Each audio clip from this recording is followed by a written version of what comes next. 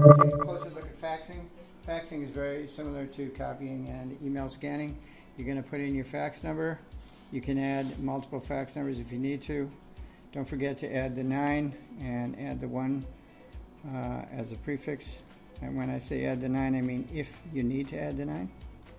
You can enter that, and if you touch it again, you can add more fax numbers. So you can scan to as many fax numbers as you need to. I'm just using the same number again.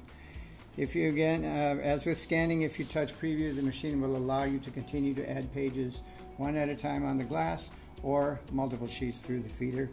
You can scan a two-sided document for faxing and you can use photo mode and do lighten and darken on factors 2 and then you also have the option to remove blank pages from a two-sided document. Sometimes the second side is blank. If you tell the machine to remove blank pages, it will not fax the blank sides. And then um, you can customize the list by going into the feature list and adding or deleting features from your menu as you can with all the other functions. Load your documents. I'll show you a quick demonstration.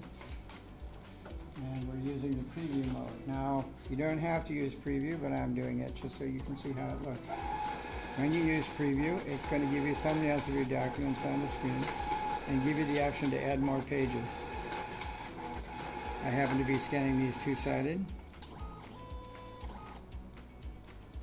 Here's my preview. By touching the plus icon, I can add more pages, or if I'm ready, I can just hit send, and the document will be faxed out through the fax line. Once again, you can check the status of your fax by going here to Jobs, and you can see the status of the fax as it's being sent.